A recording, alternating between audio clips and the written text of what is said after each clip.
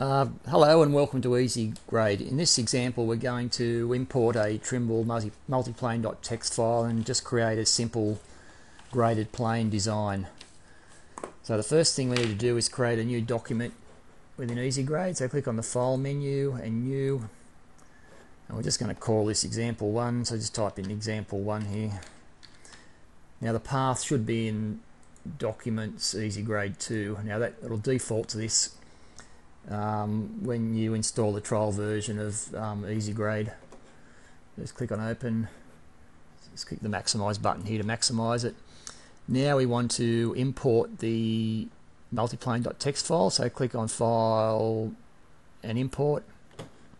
There's a number of different options here. Now we're going to click the select the multiplane.txt import option. Now we need to need to um, browse to the multiplane.txt file. Now this is also in the Documents Ezigrade 2 directory and it'll be there if you've installed the trial version. So find multiplane.txt, click open. Now do you want a boundary string created?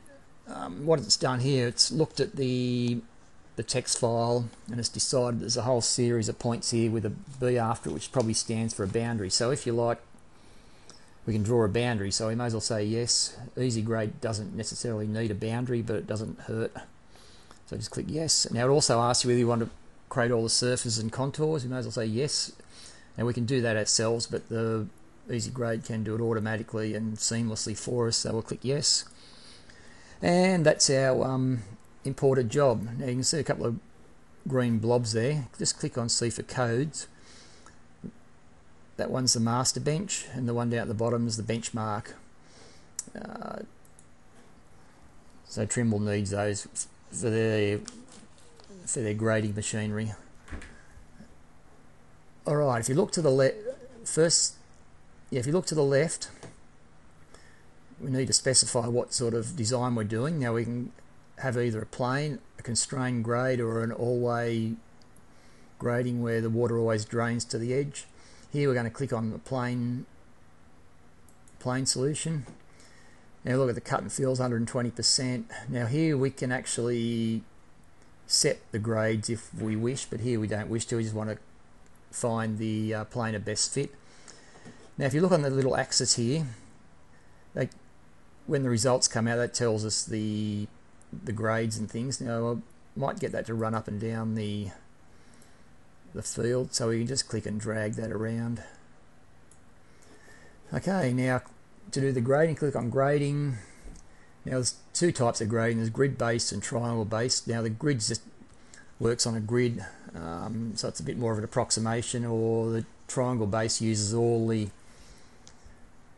triangles that are part of the, the job. Now the triangle base is more rigorous but for the least squares plane it doesn't really matter so we'll just use grid based and just click OK.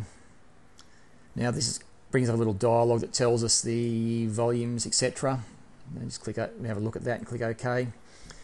Now Ezigrade 2 has done the design and it's brought up a design surface for us. If we can see the the contour shows us that it's a plane solution what we also want to look at is the, and if you look to the left there, we can see the cut volumes and fill volumes and the meters per hectare that we wish to, to move. If you're from the States, we can, the imperial will show it in cubic yards and yards per acre.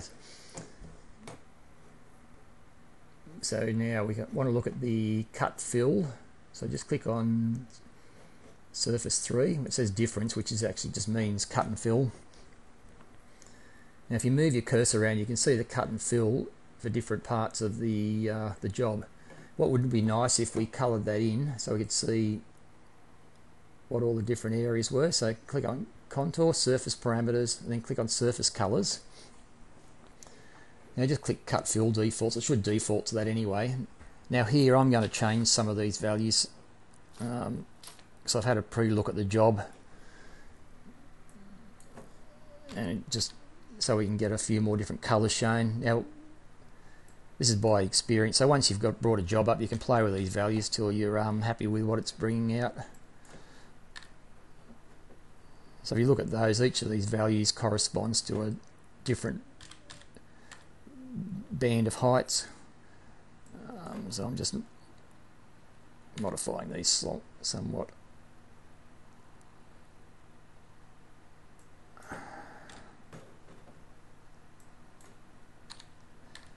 And you know, just click restore colours as well if they're not, and if, it, you've ever saved any other colours it'll bring up the save colours. Now you can also save these. You can create your own colour schemes. Just click on the colour, and when you're happy, just say save colours, and that colour scheme is saved for this type of surface forever forever after. Uh, so we want to show surface colours, and we'll shade by height, and just click, and we'll have a legend, click OK. Now that shows you the